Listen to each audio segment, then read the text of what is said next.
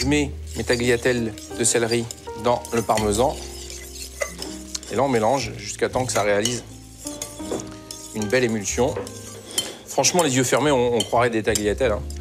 Mais euh, on pourrait s'arrêter là. hein. On n'est pas obligé de les faire carbonara euh, avec les carottes et autres. Ça peut être un accompagnement assez agréable d'une viande blanche ou d'un poisson. Ça, c'est bientôt prêt.